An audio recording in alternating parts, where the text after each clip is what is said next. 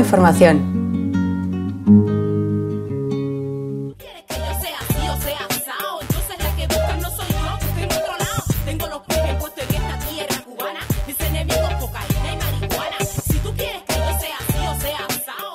El libro, de alguna manera, que se llama Reinventar el periodismo, lo que quiere, y ahora les voy a enseñar aquí un pequeño ejemplo de, sobre qué estamos hablando.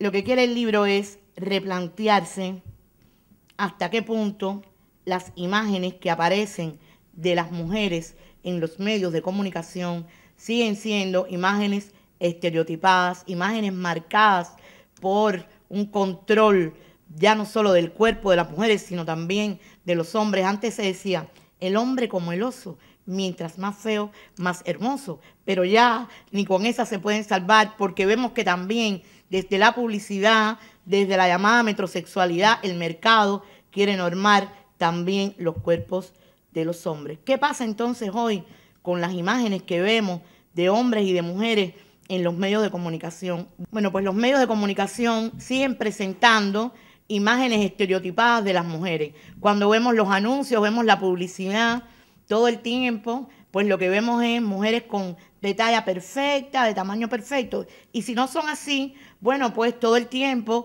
los llamados reality show te dan esa oportunidad. Y de pronto no sé si han visto algo que están poniendo ahora en TV para jóvenes y adolescentes, que es el público fundamental. Se llama Una chica del montón, ella llega, está feíta, etcétera, pero va a llegar de pronto un mago que le cambia la cara, le cambia el cuerpo, le pone un vestido, etcétera, y ahora sí vas a triunfar. O sea que en realidad, ¿para qué estudias ni lees ni te preocupas si con un corte de cabello y una silicona puesta por aquí o por allá todo se resuelve, ¿no? Les pongo ahí ese ejemplo de Betty Boo. Betty Boo, como ustedes saben, es un dibujo animado de los años 30 de Walt Disney y les pongo ahora la imagen de las Bratz, que es el dibujo animado del momento para las niñas y, los niños de hoy.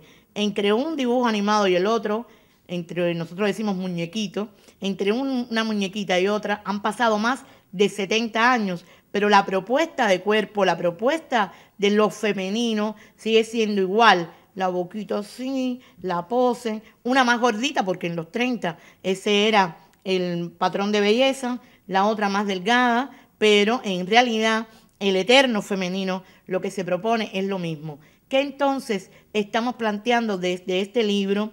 Bueno, vamos a repensar las imágenes de hombres y de mujeres que los medios de comunicación han puesto a circular. Vamos a repensar una forma diferente de construir la realidad mediática, porque ya sabemos que eso de que los medios son un espejo de la realidad no es cierto. Los medios construyen una realidad a partir de la realidad misma. La realidad que vemos en los medios está atravesada por mediaciones que van desde la persona que está cubriendo, eh, como hablamos en el argot periodístico, hasta los directivos y directivas del medio. ¿no? Y después está el otro proceso de mediaciones, que es el de las personas que reciben ese producto, que se exponen al producto comunicativo y que lo deconstruyen a partir de qué?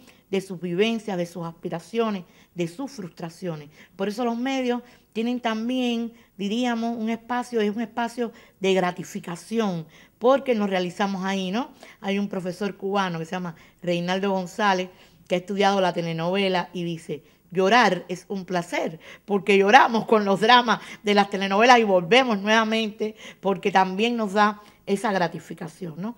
Bueno, pues sobre eso va el libro.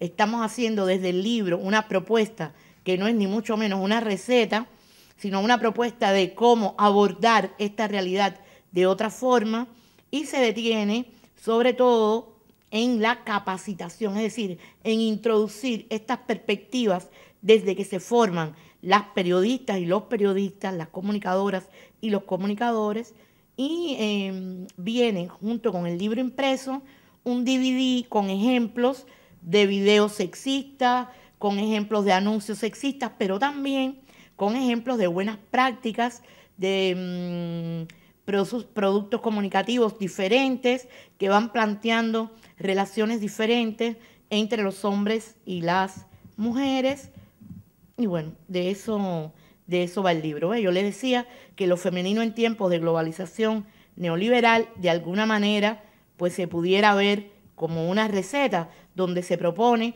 un modelo de belleza único que niega la diversidad. Sobre esto eh, va el libro, yo creo que es un debate que pudiera ser eh, interesante, no tenemos mucho tiempo para abordar en él, solo pues eh, no quería quedarme en la charla sobre cúbulas cubanas, sino también darles un bosquejo de sobre lo que va este libro que como ustedes ven y me han puesto ahí en la lacto, hemos realizado en coordinación con Euskadi Cuba y que si alguien está interesado, pues puede llamar por teléfono, ponerse en contacto y eh, lo puede recibir.